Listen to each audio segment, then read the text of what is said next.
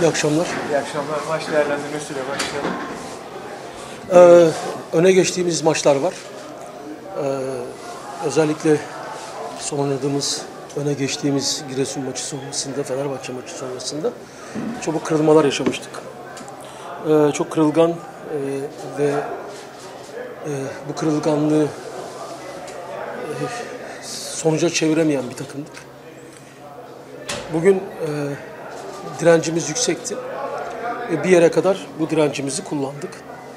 Özellikle e, 1-1 sonrasında 2-1 e, rakip e, gol atsa da oyundan kopmadık ve oyuna e, müdahale etmeye başladık.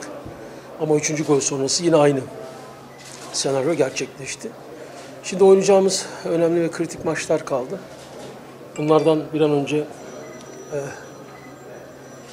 tamamlayıp e, olmamız gereken yeri sabitlemeliyiz. E, Coronado Lions Spor önemli, güçlü ve e, aslında iyi oyunculardan kurulu bir takım.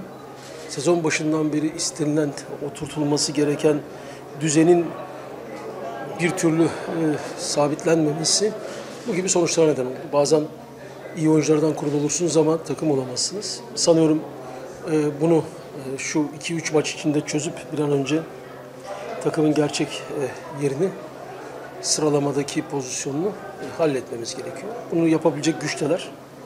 E, Oyuncularımızla yarın buluşup yarından itibaren bu süreci başlatmalıyız. Teşekkür ederim. Sorumuz var mı arkadaşlar? Arkadaşlar iyi akşamlar. İyi, akşamlar. iyi bayramlar.